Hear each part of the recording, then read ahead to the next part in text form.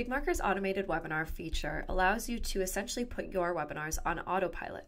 And to set it up, it's really quite simple. All you have to do is find the green schedule button at the top right hand corner of your screen and click it. This is going to bring you to our scheduling page where you can fill out some basic details about your webinar, such as a title, the webinar format, which you'll want to select as automated, the occurrence, so date, time, and duration, as well as some other basic details about your webinar, such as the privacy settings. From here, you'll want to click Schedule again, and it's going to bring you to your automated webinar page. Now, from here, in the Automation tab, you'll be able to trigger automated events around your automated webinar. You'll notice that by default, you have three automated webinar settings that are already set up. The webinar start time, or rather open time for attendees, the start time of the actual webinar, and then also the end time. Um, any content that you add in this section is going to be fair game that will trigger during your live webinar. And to set this up, all you have to do is click the green New Auto Event button.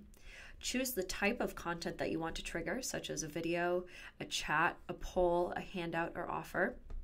And when you do select your option, a drawer is going to slide out asking you when you want to trigger this uh, chat message or content type, along with uh, the title and the content itself, so the message in this case. And all you have to do after that is click Save.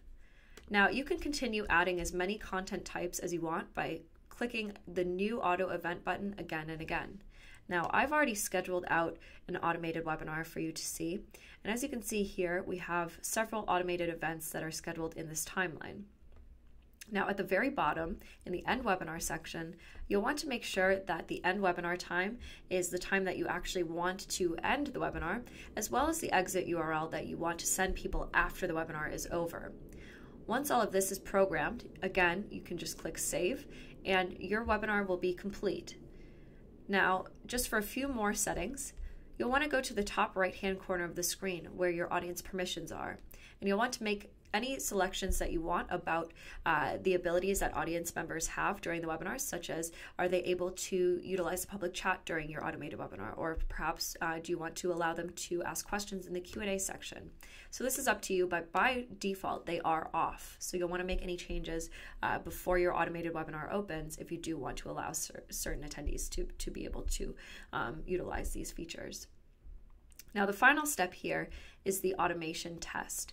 Now, if you want to see how your automated webinar will play out, we do have a simulated environment where you can click play test here, and it's going to trigger an auto event uh, of your automated webinar. Once you enter into the test environment, you'll notice that the webinar room looks exactly the same as it would if you were hosting a live webinar on BigMarker.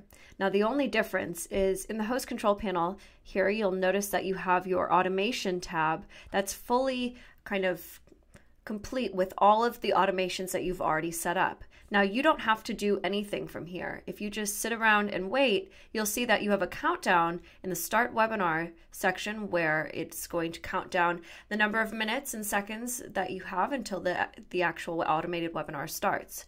From here, all of your automations will then play out according to the way that you've scheduled them in the previous page. Again, this is a tester environment, so you cannot record, but it will just give you a sense of how the live automated webinar will actually appear when it happens on BigMarker. Thanks and happy hosting.